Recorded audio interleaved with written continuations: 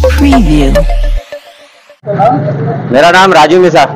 मैं प्रहार जैन शक्ति पक्ष का महानगर महासचिव।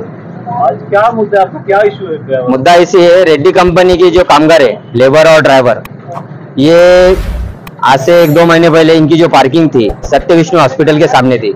सत्य विष्णु हॉस्पिटल के सामने कुछ प्लांट का काम चालू रहने की वजह से वहाँ से इनकी गाड़ियाँ जो पार्क करते वहाँ पर ही काम खत्म होने के बाद जो गाड़ियाँ पार्क करते वो गाड़ियाँ खड़ी करने की जगह इन्होंने पड़ेगांव जो डंपिंग ग्राउंड है पड़ेगांव का वहाँ देने देने में आया। अब मसला ऐसा हुआ उसके अंदर, आज ये बारिश के दिन आए, और सब जो बच्चे रहने को जो है तो ये सब सिटी के अंदर है, और वो जो पट्टा गिरता, वो दूर गिरता, और दूर गिरने की वजह से कैसे वो टू व्हीलर के ऊपर वहाँ जा रहे टू व्हीलर के ऊपर जाने की वजह से कैसे डंपिंग ग्राउंड रहने की वजह से वहाँ पर कुत्तों की तादाद ज़्यादा है।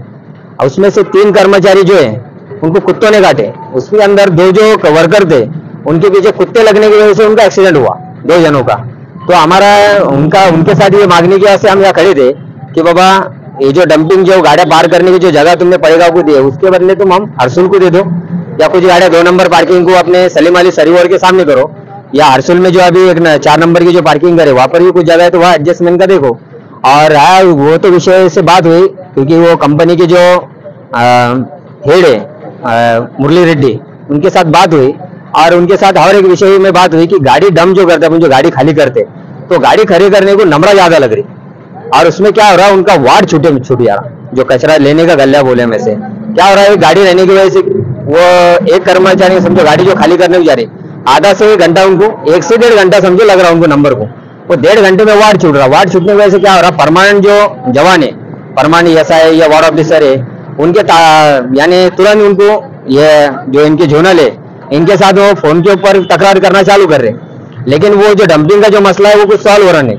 तो अभी उनके साथ बात हुई तो बोले एक दो दो तीन दिन में मैं पार्किंग का भी और जो गाड़ी डंप करने की डंपिंग जो कर रहे हैं अपन गाड़ियाँ खाली कर रहे हैं तो उसके बदले में मैं हल निकालूँगा वो है? ये जोन नंबर एक का है। तो सर ये प्रॉब्लम कब से चल रहा है?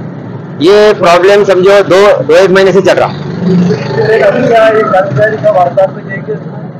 ये अभी दो तीन दिन का दिए उन्होंने। हम अभी उनको आठ दिन का समय देते। आठ दिन के बाद अगर वो नहीं रखेंगे अभी आठ दिन हम कंटिन्यू रखेंगे। आठ दिन में अगर उसका मसला नहीं निकला उन्होंने तीन दिन बोले हम आठ दिन देते उनको। ये हफ़्ता। अगले मंडे के दिन लोकशाही मार्ग से हम हमको जो रास्ता अपनाने का वो रास्ता हम तैयार करेंगे।